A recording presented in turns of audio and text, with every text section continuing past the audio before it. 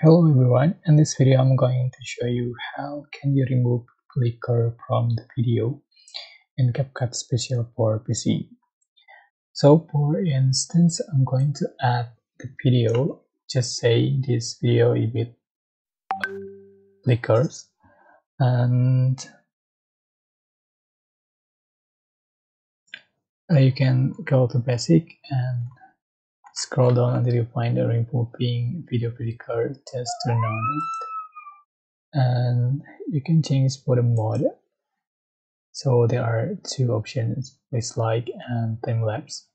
And you can change for the level weaker recommended and stronger.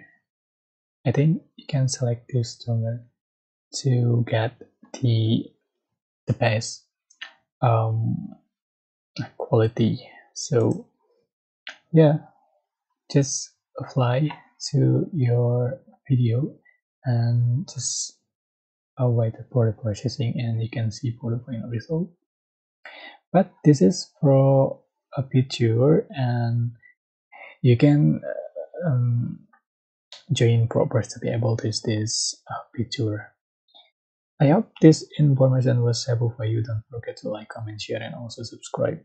Thank you so much.